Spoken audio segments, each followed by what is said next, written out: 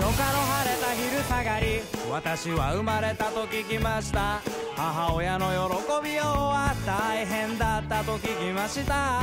ただまっすぐ信じる道を歩んでほしいと願い込めて悩み抜いた末にこの名を私につけたと聞きました。我が家はあの頃からやはり裕福な方ではなく友達のおもちゃや自転車を羨ましがってばかり。少し困ったような顔でごめんねと繰り返す母の隣でいつまでもいつまでも泣いたのを覚えてます。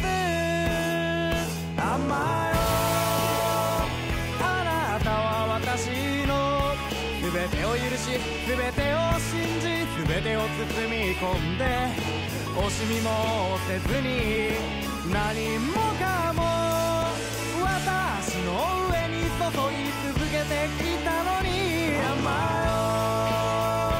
私はそれでも気づかずに思いのままに過ごしてきたのでした。